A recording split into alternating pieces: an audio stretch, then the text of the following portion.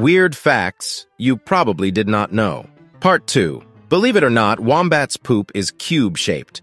This apparently has to do with their digestive process and various bodily contractions. The British royal family isn't allowed to play Monopoly because it gets too competitive. Dolly Parton once entered a Dolly Parton look-alike contest and lost. Even better, she lost to a drag queen.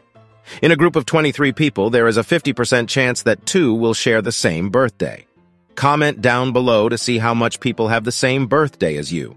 Every two weeks, another language or dialect goes extinct. There's a language in Nigeria that is currently only spoken by four living individuals. It's impossible for most people to lick their own elbow. You can try it if you want. Dogs have a dominant paw, like humans have a dominant left or right hand. Can you tell if your dog is left-pawed or right-pawed?